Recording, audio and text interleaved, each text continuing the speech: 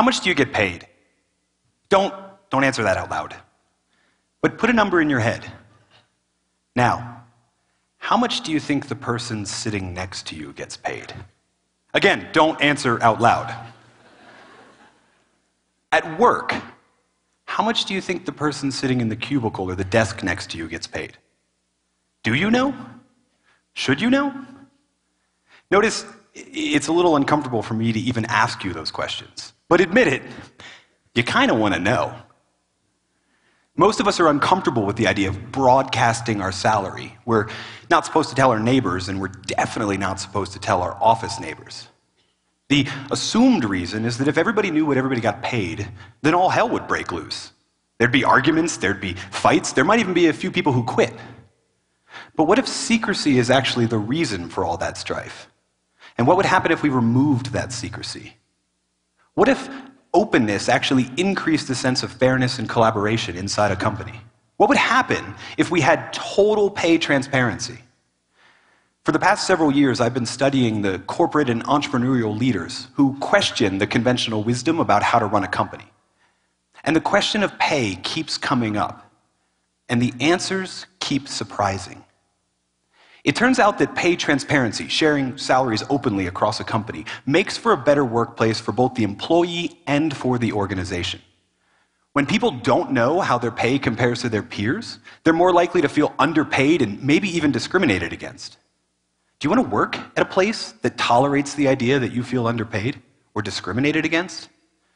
But keeping salaries secret does exactly that, and it's a practice as old as it is common. Despite the fact that in the United States, the law protects an employee's right to discuss their pay. In one famous example from decades ago, the management of Vanity Fair magazine actually circulated a memo entitled Forbidding Discussion Among Employees of Salary Received forbidding discussion among employees of salary received. Now, that memo didn't sit well with everybody. That New York literary figures Dorothy Parker, Robert Benchley, and Robert Sherwood, all writers in the Algonquin Roundtable, decided to stand up for transparency and showed up for work the next day with their salary written on signs hanging from their neck. Imagine showing up for work with your salary just written across your chest for all to see. But why would a company even want to discourage salary discussions? Why do some people go along with it while others revolt against it? It turns out that in addition to the assumed reasons, pay secrecy is actually a way to save a lot of money. You see, keeping salaries secret leads to what economists call information asymmetry. This is a situation where, in a negotiation, one party has loads more information than the other. And in hiring or promotion or annual raise discussions, an employer can use that secrecy to save a lot of money. Imagine how much better you could negotiate for a raise if you knew everybody's salary. Economists warn that information asymmetry can cause markets to go awry. Someone leaves a pay stub on the copier, and suddenly everybody is shouting at each other. In fact, they even warn that information asymmetry can lead to a total market failure. And I think we're almost there. And here's why. First, most employees have no idea how their pay compares to their peers. In a 2015 survey of 70,000 employees, two thirds of everyone who's paid at the market rate said that they felt they were underpaid.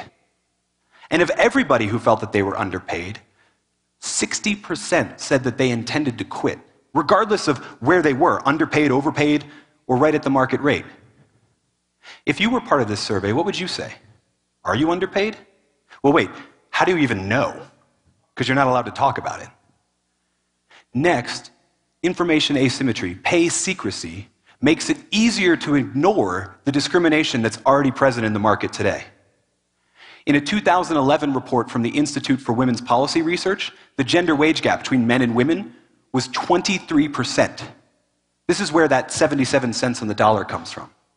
But in the federal government, where salaries are pinned to certain levels and everybody knows what those levels are, the gender wage gap shrinks to 11%.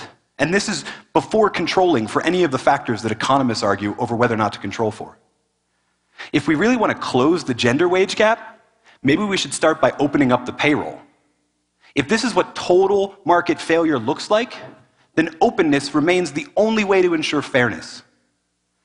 Now, I realize that letting people know what you make might feel uncomfortable, but isn't it less uncomfortable than always wondering if you're being discriminated against? Or if your wife or your daughter or your sister is being paid unfairly? Openness remains the best way to ensure fairness. And pay transparency does that. And that's why entrepreneurial leaders and corporate leaders have been experimenting with sharing salaries for years. Like Dane Atkinson. Dane is a serial entrepreneur who started many companies in a pay secrecy condition and even used that condition to pay two equally qualified people dramatically different salaries, depending on how well they could negotiate. And Dane saw the strife that happened as a result of this. So when he started his newest company, Sumall, he committed to salary transparency from the beginning. And the results have been amazing. And in study after study, when people know how they're being paid and how that pay compares to their peers, they're more likely to work hard to improve their performance, they're more likely to be engaged, and they're less likely to quit. That's why Dane's not alone. From technology startups like Buffer to the tens of thousands of employees at Whole Foods, where not only is your salary available for everyone to see, but the performance data for the store and for your department is available on the company intranet for all to see. Now, pay transparency takes a lot of forms. It's not one size fits all. Some post their salaries for all to see, some only keep it inside the company. Some post the formula for calculating pay, and others post the pay levels and affix everybody to that level. So you don't have to make signs for all of your employees to wear around the office. And you don't have to be the only one wearing a sign that you made at home. But we can all take greater steps towards pay transparency. For those of you that have the authority to move forward towards transparency, it's time to move forward. And for those of you that don't have that authority, it's time to stand up for your right to. So, how much do you get paid? And how does that compare to the people you work with? You should know, and so should they.